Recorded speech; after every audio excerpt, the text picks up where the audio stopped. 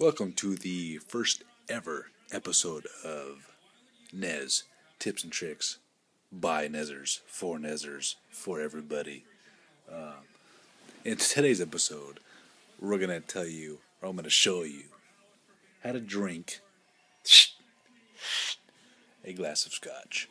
So, and of course, you're going to do it in a time consuming manner, of course. So, take it in with the two fingers, like so. Thumb and middle finger are always the best. You're going to dip your head up at a maybe 30 degree angle. Is this 30? Well, this is not 30, 40, 30, ah, whatever.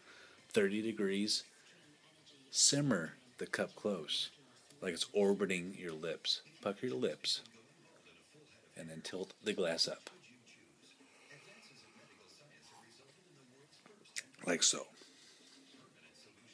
Ah, taste the smokiness, the flavors, and it's it's good, man. It's good. That's it for the first and probably the last episode. I don't even know where the goddamn camera is on this phone. I don't know where I'm looking, but yeah, there it is. How to drink a glass of scotch. Time consuming and efforts, efforts, oh, whatever, man. You get it. Can you can you believe this? Oh man. I mean, yeah.